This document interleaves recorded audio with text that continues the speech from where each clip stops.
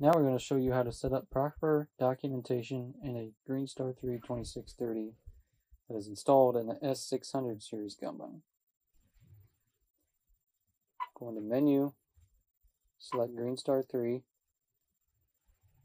select resources, and here we'll select our client, farm, and field. Make sure our task is set to harvest. We have the current crop season selected. Next, we'll go to equipment. Automatically detect that it is a combine. Next is the machine model, machine name. Please note that machine name is all that is needed. Select change offsets. Enter the lateral offset. Letter B is the center of rotation of the non-steering axle to the connection point of the head. C is the non-steering axle to the head. And D is the receiver height.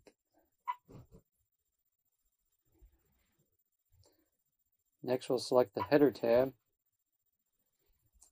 Note that when a header is attached, the implement type will be grayed out.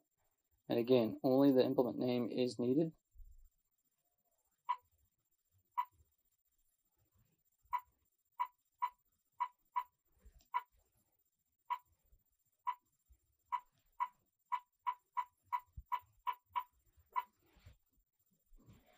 Select change offsets.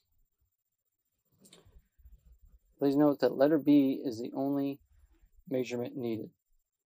This would be from the connection of the header to the point of crop contact. On a corn head, that'd be where the corn contacts the stalk rolls.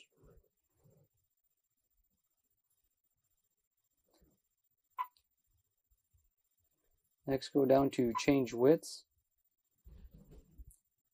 This is a corn head, enter the number of rows and the row width.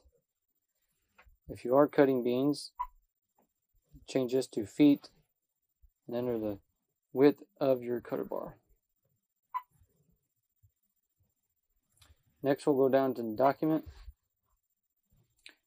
all you want is harvest and a new tab up here. Go into change harvest settings. Select your crop type. Brand is optional. And variety is also needed. Note, if you are using Variety Locator, you will have to select a variety before Variety Locator will work.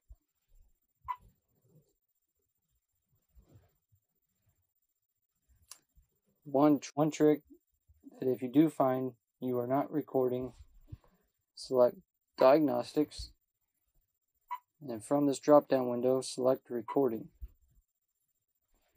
Make sure that the field is defined task is defined. Harvest is the document tab. It's properly set up.